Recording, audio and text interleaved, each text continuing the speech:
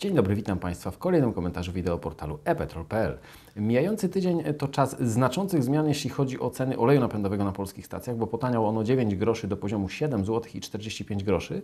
Natomiast jeśli chodzi o benzynę, tutaj większych zmian nie mamy. Poziom 6,67 jest zaledwie o grosz niższy niż przed tygodniem. Jeśli chodzi o 98, utrzymuje się ona na poziomie 7,39 już od dwóch tygodni.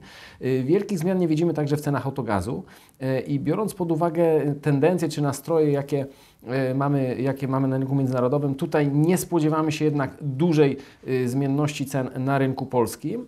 E, jeśli chodzi o tą prognozę na, na najbliższe dni, na, na kolejny tydzień, dla diesla ceny powinny ulokować się w przedziale między 7,40 a 7,51. Natomiast jeśli chodzi o benzynę 95-oktanową, przedział cen będzie wynosił między 6,65 a 6,76. Niewielkie zmiany dotyczyć mogą również autogazu.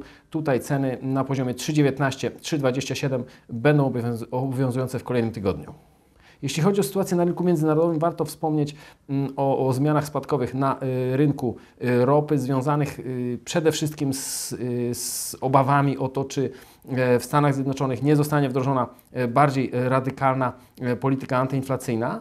Z drugiej jednak strony no, musimy pamiętać o coraz częstszych prognozach wzrostu zapotrzebowania, chociażby ze strony gospodarki chińskiej na, na paliwa, co także może napędzać ceny, ceny ropy w kolejnych miesiącach, czy w, w drugiej połowie roku zwłaszcza, ale no, to jest czynnik, który jednak będzie, będzie ważył na, na cenach dopiero za, za jakiś czas, czy, czy na razie jednak w pierwszej kolejności wskazuje się na, ten, na tą sytuację związaną z, z rynkiem amerykańskim.